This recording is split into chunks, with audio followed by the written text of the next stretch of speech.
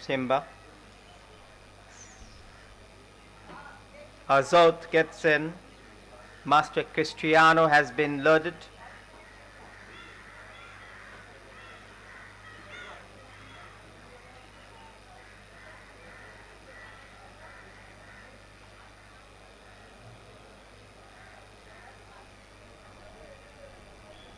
Top bracket enters the gate.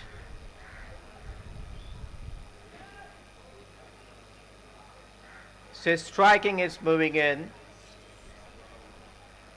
Lovely boy is going to be pushed in. To behind Ibis and riderless Simba.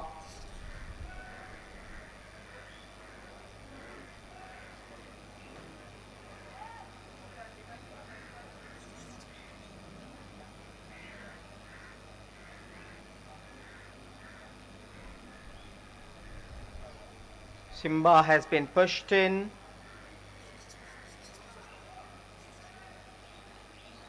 Simba is being held in.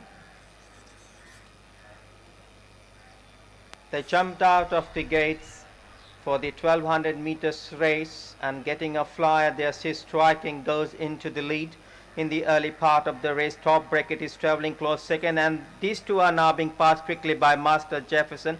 Racing fourth in the center, uh, there is a lovely boy just on the outside is Simba is improving.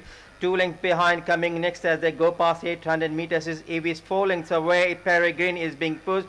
Hello Hello is three quarter length behind traveling on the outside. A gap of four lengths uh, to the Toto Whiskey traveling second last is Master Cristiano and Noble One is the tail ender. They start negotiating the turn passing 500 meter.